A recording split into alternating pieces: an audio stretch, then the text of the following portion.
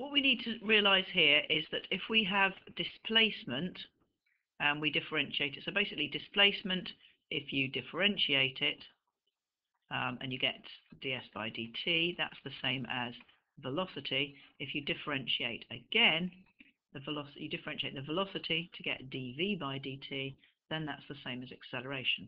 If you want to go back in the reverse direction, we need to do the reverse of differentiating, which is integrating. Now, in this case, we are given an expression for the velocity, and we asked to find we're asked to find the distance travelled. So here we have velocity. To find the distance travelled, we are going to need to integrate. And to find the distance travelled between t equals 1 and t equals 3, I'm going to integrate between the limits of 1 and 3.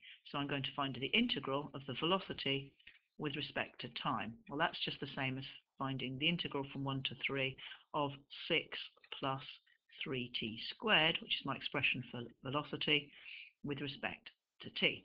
If I now integrate, uh, sorry, um, if you integrate 6, that's going to give you 6t, because if you differentiate 6t, you get 6.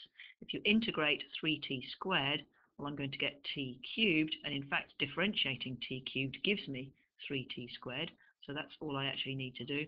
Put in my square brackets and then my limits, and remember we substitute the top limit first, so I'm going to be doing basically 6 times 3 plus 3 cubed, and then I'm going to subtract the bottom limit substituted in, well that's just 6 times 1 plus 1 cubed. So I'm going to end up with 18 plus 27 in that first bracket, take away 7. And if I add 27 and 18, that gives me 45. So I'm going to do 45, take away 7, which gives me 38.